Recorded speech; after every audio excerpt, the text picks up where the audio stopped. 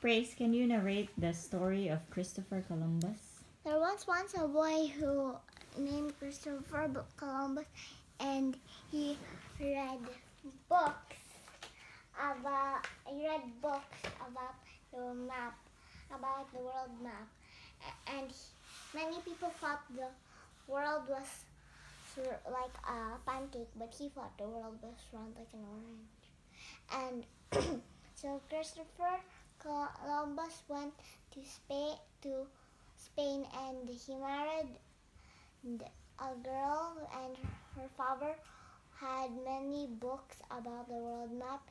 He kept on reading and they had a son and, and when his wife died he went to the palace uh, and he asked the he asked the king and queen if he can get any support of going to to on the other side of the world to prove the world was round like an orange.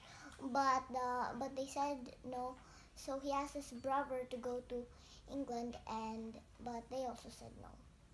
But Queen, uh, but but Queen Elizabeth, But Queen, with Queen Isabella, what, what believed in God and supported Christopher Columbus, the, and then she gave, but she didn't have any money, so she gave her crown. Uh, so she gave her crown and as the payment. So he paid for it, and then and then so and then he and then he went to he got on the boat and sailed to to the other side of the of the earth. So so he so he went so he went out so he went out and it's been two and it has been two months and it's and the and the other sailors were angry because it's been too long. And then so they so that so oh, Christopher Columbus distracted them with funny stories. Uh, so and he said whoever finds the whoever sees land first gets a prize. And then they kept on watching for land. And also Christopher Columbus watched for land. But till his eyes grew dim. And then one night he saw light but he didn't know if it was like he if it was real or he's just imagining it. So he asked because he had poor eyesight so maybe he doesn't so that's why he doesn't.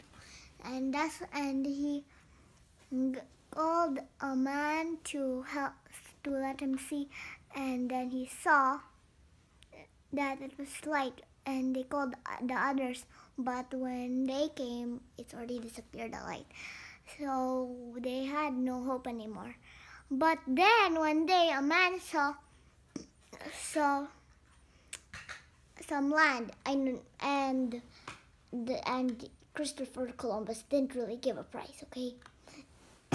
to the person who first saw the land. Is he lying? So then he saw a man saw land and the land and then they went to and then they, there were people and their skin was in bronze and they were naked.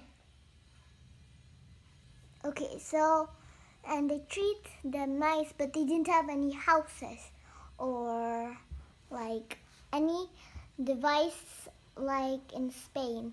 So, but they but they were friends.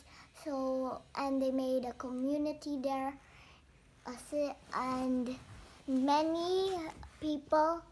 Columbus went back to Spain. Wow, another long trip, and then and to tell the other people in Spain to go there and they and where is excuse me? Where is there, Brace? What what country did they discover? They discovered America.